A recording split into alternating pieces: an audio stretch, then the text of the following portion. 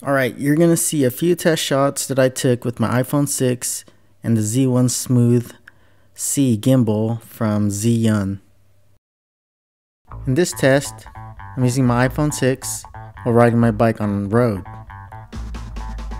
It's not that hard to focus on my dog and ride my bike at the same time because the road is pretty smooth.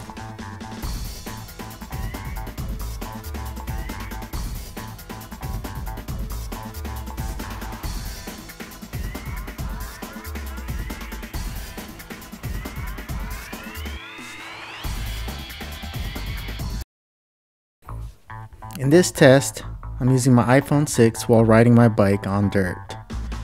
It's pretty difficult to hold the handlebar with one hand and use the other hand to hold the gimbal and focus on my dog.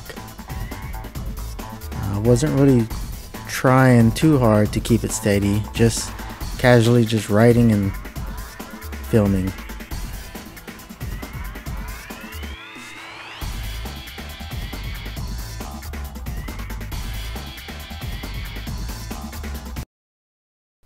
In this test, I'm using my iPhone 6 while hiking through dirt, boulders, and hills.